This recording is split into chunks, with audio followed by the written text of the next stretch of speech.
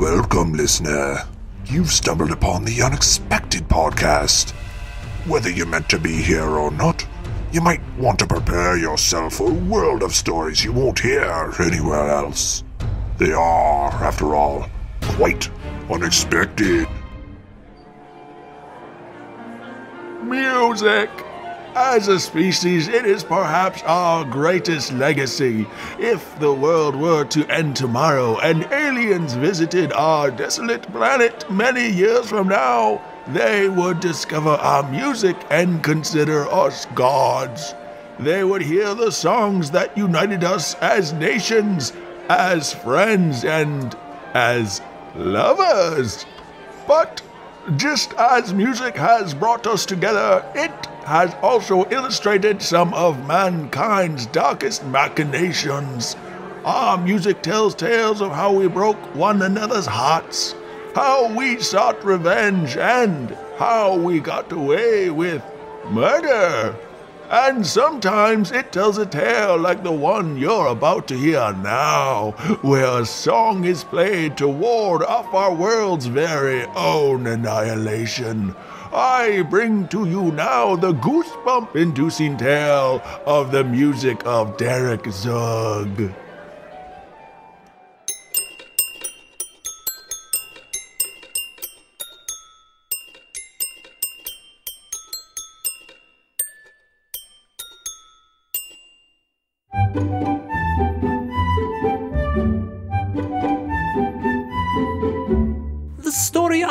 To tell you is not an easy one to confess, for it involves an admission about the very nature of my own sanity.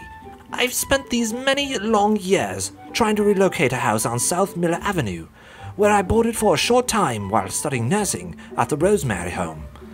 It remains so very odd that the house in which I stayed was but two blocks from where I schooled, and yet I'm unable to come upon it again or find anyone who knows where it might be. So you can see why my sanity comes into question any time I think upon that house, and whether I'd ever stay there or not, and if I'd actually ever heard the strange music of Derrick Zugg. Hey, mister, give me my ball back. Oh, be careful on these streets, young rapscallion. You wouldn't want to end up a horse's shoe now, would you? What? Say there, scoundrel. You wouldn't happen to know where to find this house now, would you? Here's the address. I've written it on my scroll. Have a look. Why do you keep calling me weird names? Uh, what names might those be, you little miscreant? Dad, this guy's talking weird. Well, you look weird. Huh, what, what the heck is going on here? Why are you harassing my little Timmy? Oh, forgive me, sir. I don't mean to tarry. I'm simply looking for the whereabouts of a house. You see, I am to be staying there while studying my nursing at the Rosemary Home. I have very little money in my purse, and the kind gentleman who keeps the place has offered me a very agreeable rate to. What's the stinking address already? Oh, oh, yes, I have it on this scroll here. Huh, well, that place, well, I haven't heard of anyone staying there since I was my boy's age, to be quite frank. Huh, if I remember right, I think, uh, uh yeah, I, I, I think you'll want to go up one block, huh, and, and take a left, and it'll be right at the end of that road there. Oh, thank you, my good man. Thank you indeed. Huh, huh, no problem. Uh, best of luck. Oh, uh, and if you ever talk to little Timmy again, uh, I'm calling the cops. And that's how I came upon the house at the end of South Miller Avenue. 'Twas an odd building. It was very tall, uh, yet appeared quite empty, and it overlooked a small grove of trees that led into a quaint little baseball field where it appeared our grandmother was playing with her grandchildren. Of course, these things I wouldn't learn until I entered the lodging and spoke with the keep, a silly looking bearded gentleman named Howard. Welcome, welcome. Howard was paralyzed from the waist down, and, as I'd come to learn, often forgot to wear pants. Oh, well, would you look at that? I forgot my pants again. Just a second. There, there, that's much better. Howard put me in a room on the third floor, which was the least expensive floor of his lodging. It quite appealed to me as a poor student. As I took my keys and was about to make my way for the stair, he offered me a dire warning. Whatever noises you hear at night, you just ignore them. You hear me? Do not try and follow them. Just, uh, pretend they aren't there. Noises? What noises do you mean, you silly bastard? It's an old house. It could be the pipes uh, or bats in the attic. Just remember to pay them no attention. You'll be sorry if you do. Now, where did I put those pants? At that moment, I had no idea why the old boy was trying to strike such dread within me. I'm deaf in one ear, and I sleep like a log, and therefore would likely not have heard the sounds at all if he hadn't brought it up. But uh, because of his warnings and my own terribly curious nature, I made it a point to stay up late that night, with my good ear listening closely.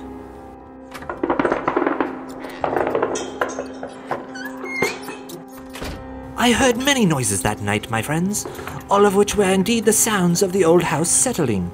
Yet, through it all, something else came to me that night, something that sounded quite unnatural, seeping through the ceiling of my room.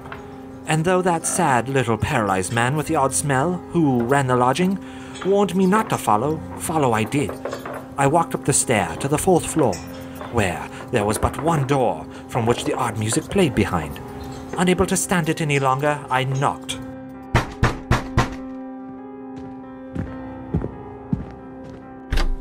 Yeah? What do you want?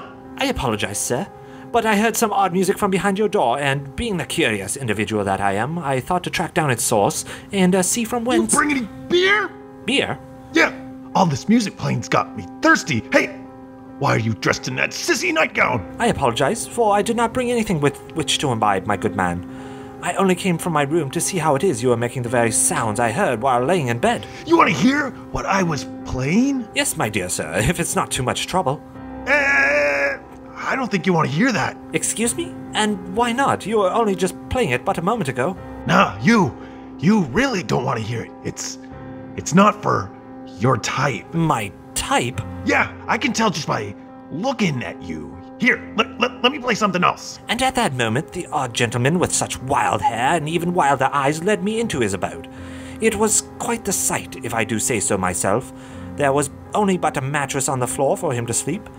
On it was four open jars of mustard, with another three unopened. It was clear to me then that this man only cared for one thing not his appearance, nor the squalor in which he lived, but only his music, which he agreed to play for me then.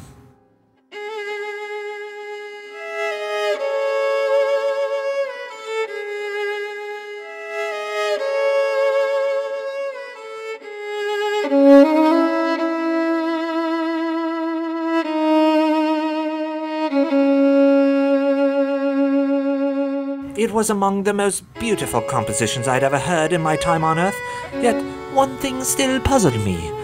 It wasn't the same sound that I'd heard from my bed. What's wrong with you? You didn't like it? You jerk!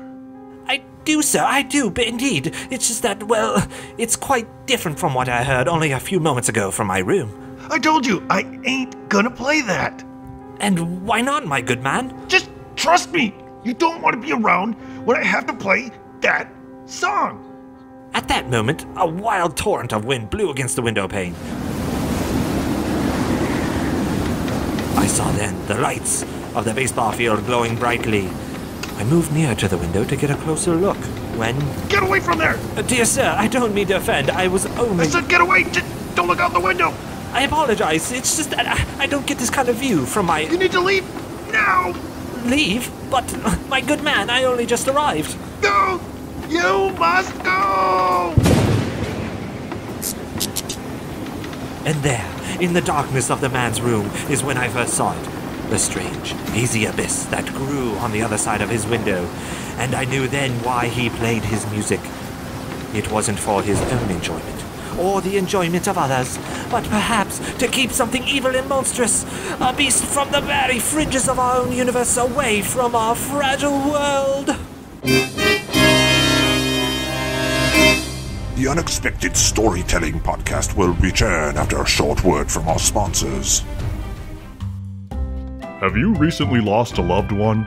It can be one of the most difficult things you'll ever have to go through.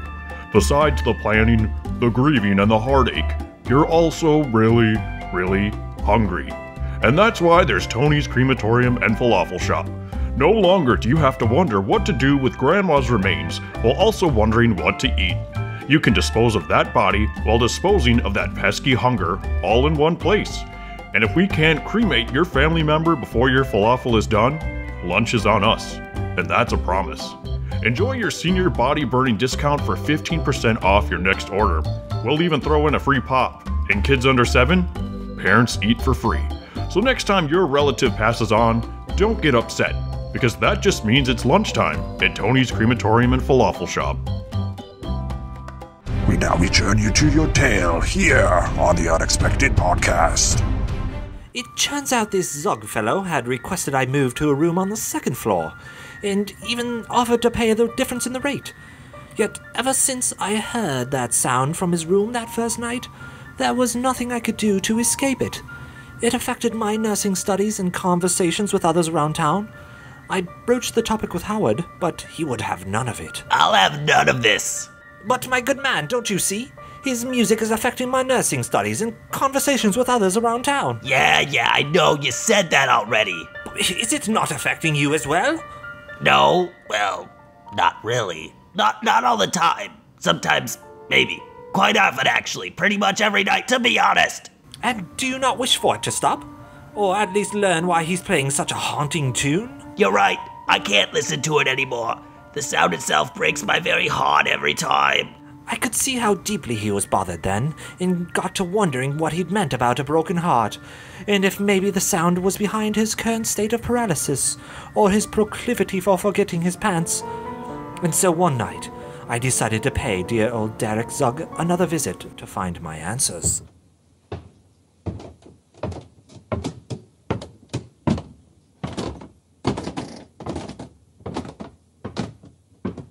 I heard nothing for a long while, and was just about to rap on his door to announce my presence, when suddenly it came.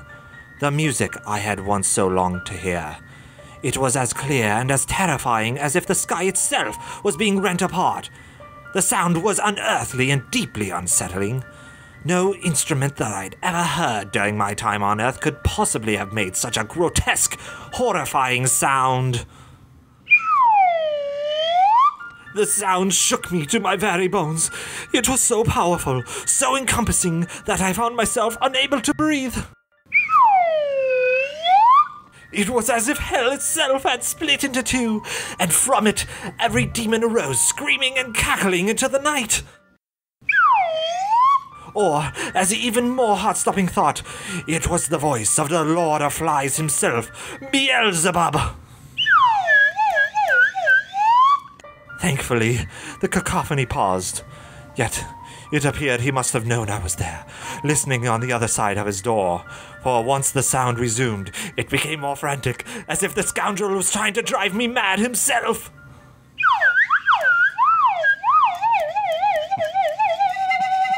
Then, all at once, it stopped, and it became clear to me that he wasn't playing for me at all, but for something that dwelled in the room with him. I heard the poor man's cry. Get the heck off of me, will ya? I burst into his room to save his wretched soul.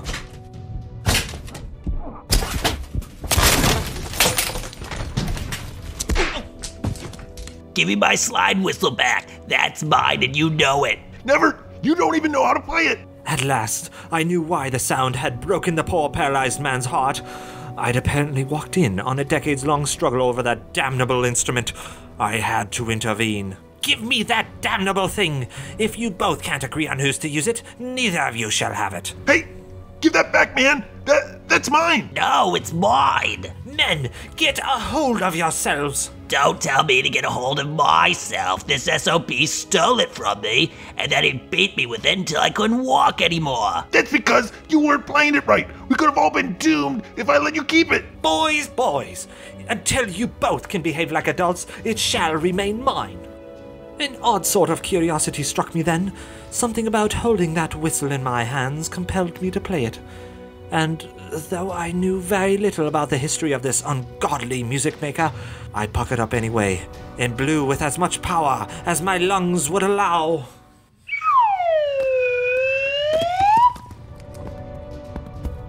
Oh, well, now you've gone and done it. Done what, my good man? You've unleashed Armageddon.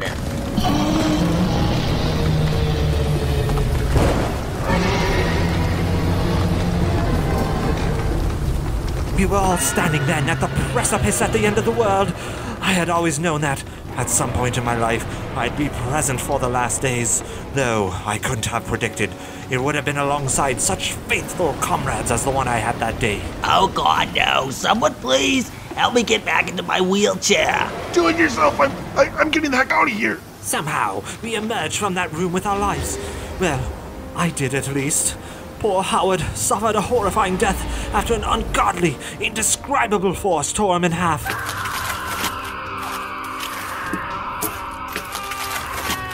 Derrick Zugg managed to survive, though I wouldn't say he escaped with what could be called his life, for he'd been driven so mad that he went running down the street, screaming unintelligible language at an ice cream vendor before stealing a cone for himself and running away.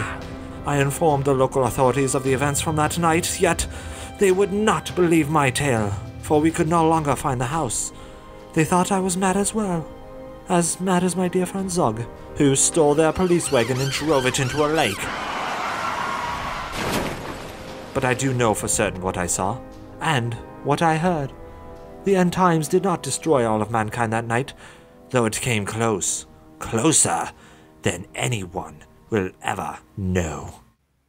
But, Grandpa, how come the world didn't end? Well, you see, young lad, it turns out I'd played the song incorrectly at first. Upon trying one more time, I managed to play the correct tune, sending the beasts of hell back to the inferno. What's the correct tune? Well, my boy, I wasn't going to teach you until you were much, much older.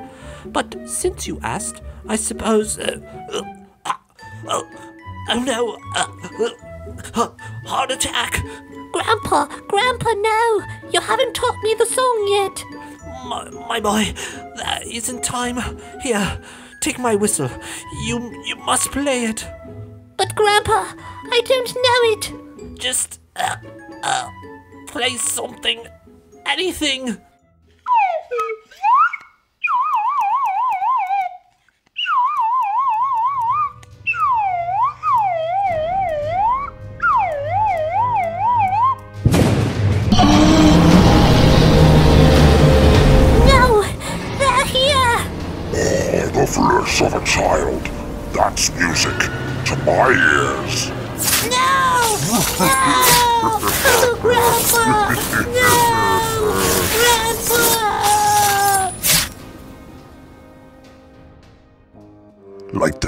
You here on The Unexpected? Consider sharing our show with family and friends, along with any strangers you come across. Provide a little something unexpected to someone else's day. You can find and subscribe to our show on iTunes, Google Play, or anywhere else you stream your podcasts. We're on social media on Unexpected Show on Twitter and The Unexpected Podcast on Facebook. You can also find out what we're up to on our website, www.theunexpectedpodcast.com. Thank you for listening.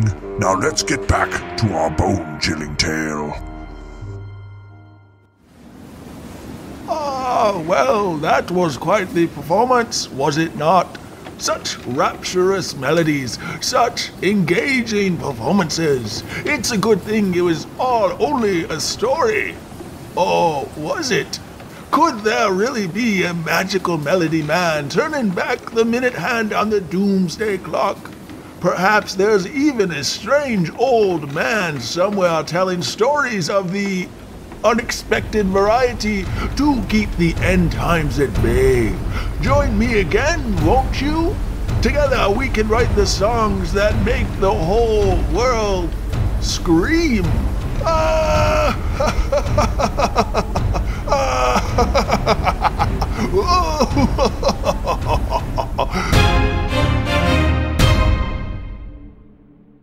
The Unexpected Storytelling Podcast is written, produced, and directed by Andrew Soucek and Erik Bergstrom. Each story is somehow a work of fiction, and with the exception of public figures like Tony Danza, any resemblance to persons living or dead is coincidental and unexpected.